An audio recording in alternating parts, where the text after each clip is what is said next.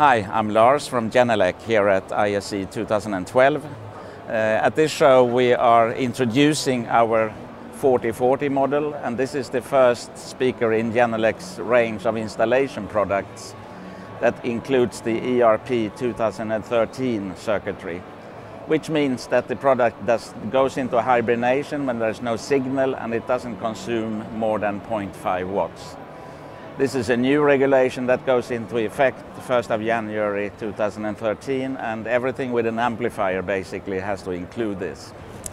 The other thing we are showing here at at uh, ISE 2012 is the 1238 CF which is a small three-way system which is uh, CF stands for compact and flat and uh, it's a DSP based product, which means that we control it with software, which you can see on the screen here.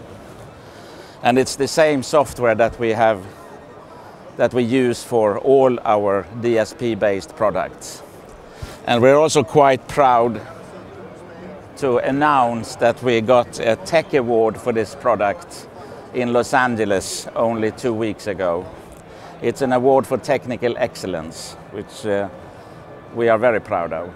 And this kind of concludes what we are doing here at ISE this year. Thank you very much.